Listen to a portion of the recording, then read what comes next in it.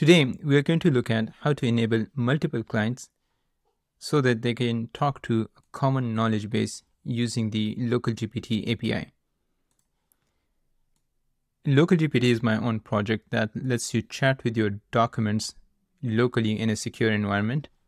It has over 18,000 stars on GitHub and you can actually build business applications on top of this. One common use case that I have seen in business setting is to have a common knowledge base, and then you enable multiple clients to talk to that common knowledge base simultaneously. And it's possible through the local GPT API. So in this video, I'll show you how to set this up and have multiple clients communicating with this one server simultaneously. There are two different parts of the process. The first one is ingestion. So you provide your documents. Let's assume if you are working in a business setting, these could be HR policies or uh, financial documents. Those documents are chunked and split. Then we create vector embeddings based on those chunks and those are stored in a vector store which will act as a knowledge base. The second part is going to be the inference part, in which we are going to be serving multiple clients through an API. In this case, uh, LocalGPT uses the Flask API server. The LocalGPT server will implement a simple queuing mechanism. So for example, if client 1, 2, and 3 ask uh, different questions simultaneously, it will serve the first client, then the second client, and then the third client. And this is going to be um, assuming that there is a single GPU that is uh, used for inference.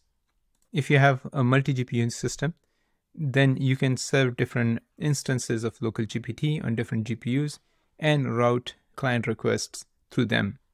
Okay, so let me first walk you through a step-by-step -step process of how to set up local GPT if this is the first time you're seeing local GPT. So first we need to uh, clone the repo. Here, just click on this green button, click on this link. This will copy the link. There is also a pre-configured virtual machine thanks to the folks at Massed Compute that you can use to run local GPT. And if you decide to use this virtual machine, make sure to use the code prompt engineering to get 50% off.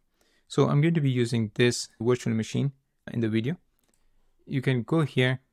You will need to create an account. Once you create an account, then click on the creator in category and here just select prompt engineering and now you can just provide the prompt engineering code that will give you half of this price.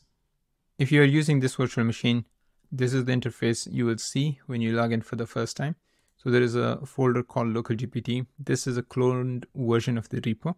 And there is also a welcome document which uh, will uh, walk you through a step-by-step -step process of how to use this virtual machine.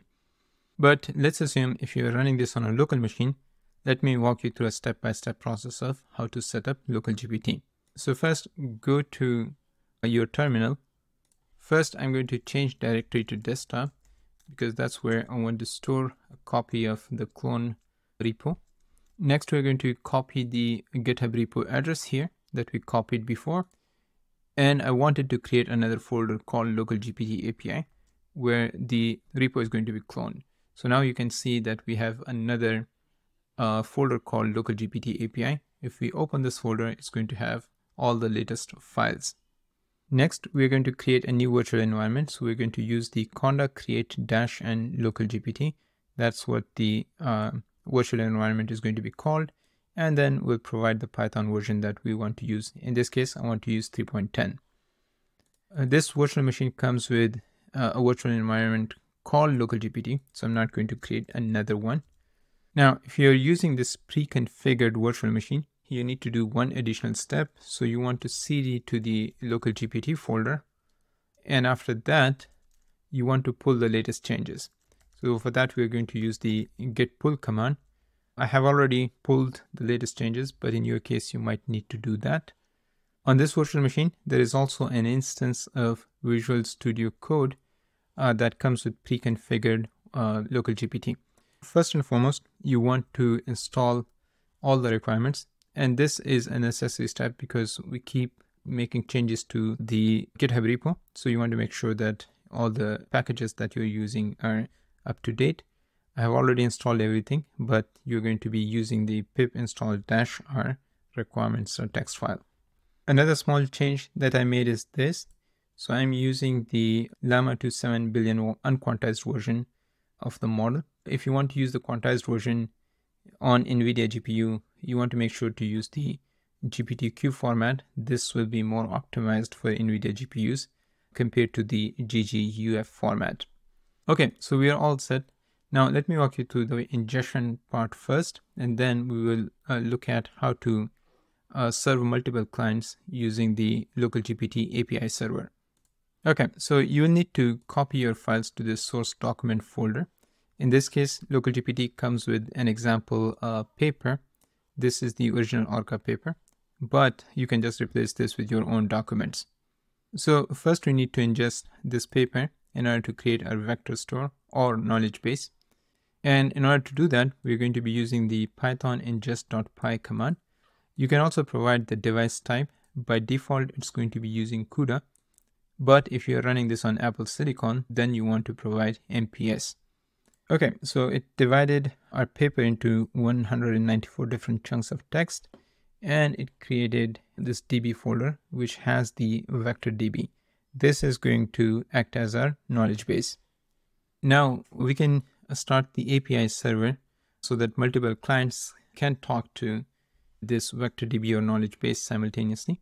And for that, we're going to be using the python run local GPT API.py file. So just hit enter.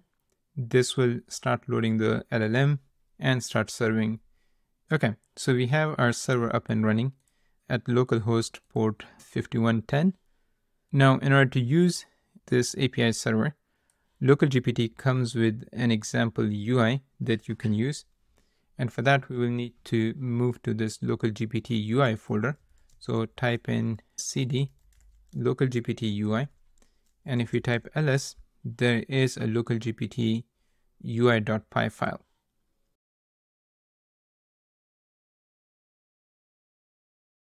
Now, the great thing about local GPT is that you can create your own UIs. You're not actually limited to this. All you need to look at is the implementation of local GPT API and how to call this. I have a separate video in which I go into a lot more details on the implementation part. I'll put a link to that video. In order to run the UI, we're going to type python localgpt UI.py and this will start another Flask application and this time it's running on port 5111.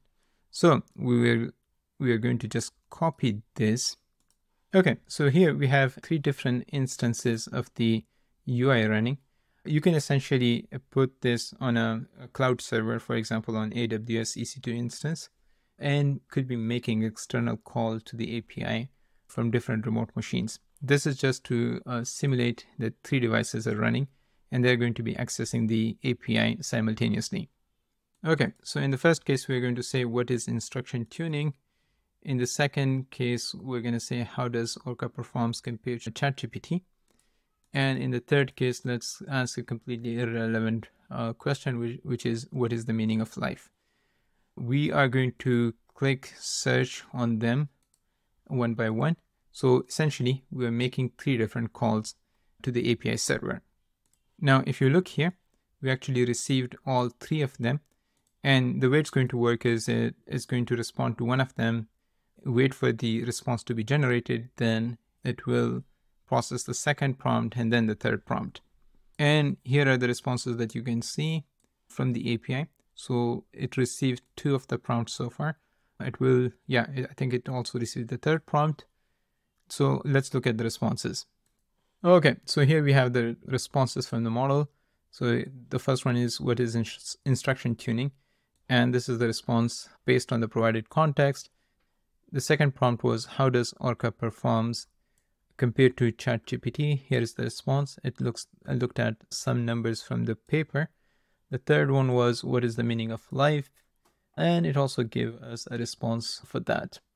Although you can play around with the system prompt that we are using, so that you can limit the responses only to the provided context.